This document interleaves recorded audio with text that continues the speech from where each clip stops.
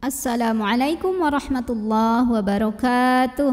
Alhamdulillahi Rabbil Alamin. Bertemu kembali dengan saya Ratna Haryaningsih di channel Ngaji Bareng 04 Pada pertemuan kita kali ini Kita akan kembali meneruskan mengurai hukum-hukum tajwid Yang terdapat pada surah Ali Imran ayat 191 bagian kedua. Disimak sampai akhir karena nanti di ujung akan ada pertanyaan seputar tajwid dan jawaban untuk pertanyaan hari kemarin akan ditemukan pada menit ke A'udzu billahi minasyaitonir rajim Bismillahirrahmanirrahim. Rabbana Ra dibunyikan secara tafkhim karena ra-nya ini berbaris fathah. Cara membacanya ditebalkan. Pangkal lidah kita, bagian paling belakang dari lidah kita ya, naikkan. Rabbana ada bak tasdid, hati-hati jangan sampai ada suara masuk hidungnya. Ya, jadi bukan rabbana tapi rabbana. Tekanannya di bibir. Rabbana nama tabi'i karena ada alif yang didahului baris fathah. Cara membacanya dipanjangkan nunnya dua harokat saja. Rabbana ma ma madtabi'i karena ada alif yang didahului baris fathah. Cara membacanya dipanjangkan mimnya dua harokat.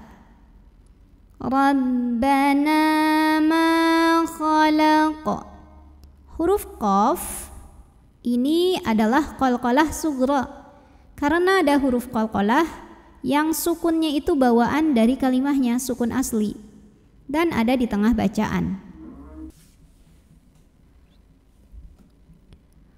Khalaqataha Ha mad asli atau mad tabi'i karena ada baris fathah tegak di atas huruf H.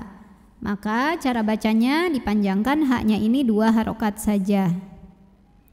Hadza Dha matobi'i Karena ada alif yang didahului baris fathah. Cara membacanya Zal ini dipanjangkan dua harokat saja. Hadza ba. Ba juga sama ini matobi'i Karena ada alif yang didahului baris fathah Cara bacanya dipanjangkan baknya dua harokat. Batila. La ini hukumnya adalah mad iwad karena ada baris fathah tanwin yang kita berhenti di sana. Cara bacanya adalah baris fathah tanwinnya jadi satu saja jadi fathah.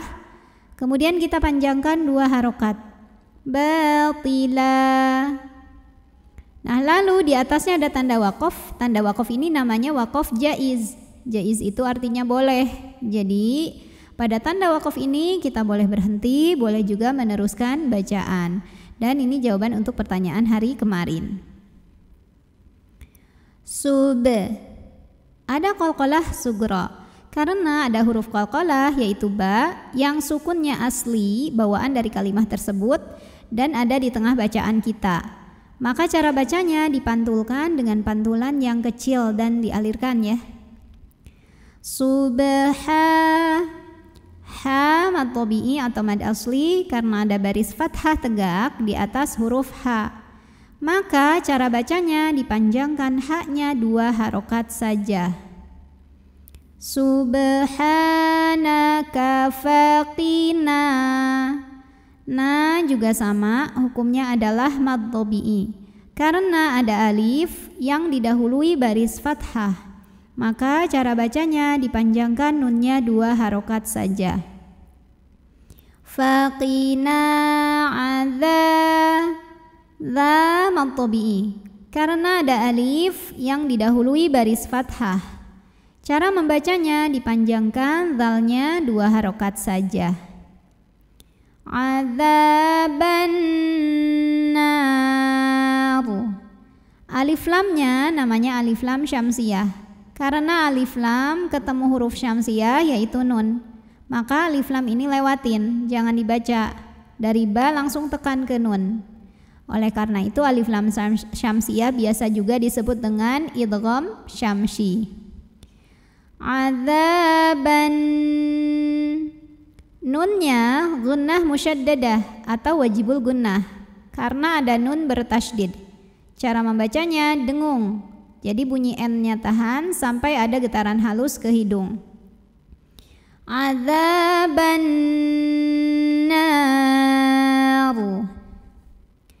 Jika berhenti di sini, hukumnya adalah madarid li sukun. Karena ada mad ketemu dengan huruf yang disukunkan karena waqaf. Mad alif yang didahului fathah, huruf yang disukunkannya ra. Jadi jika berhenti, nunnya ini boleh panjang dua, 4 atau 6 harokat tapi harus sama atau konsisten dalam satu kali bacaan. Azaban Jika berhenti di sini, roknya ini disukunkan dan dibacanya secara tafkhim. Kenapa? Karena huruf sebelumnya fathah. Jadi kita tebalkan. Azaban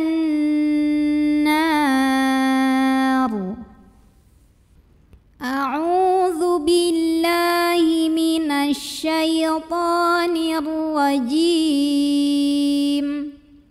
بسم الله الرحمن الرحيم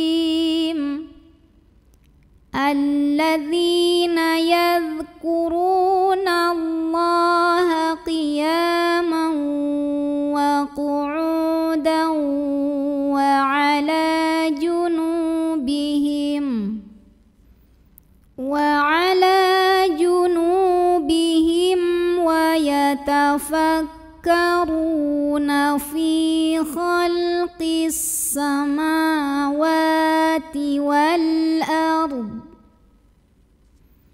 ربنا ما خلقت هذا باطلا.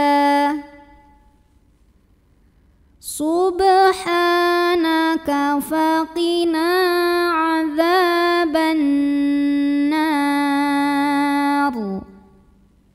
Oke, pertanyaan untuk hari ini coba sebutkan nama hukum tajwid dari yang saya tunjukkan ini. Nama hukumnya apa, sebabnya apa dan bagaimana cara membacanya.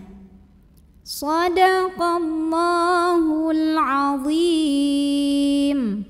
Wassalamualaikum warahmatullahi wabarakatuh.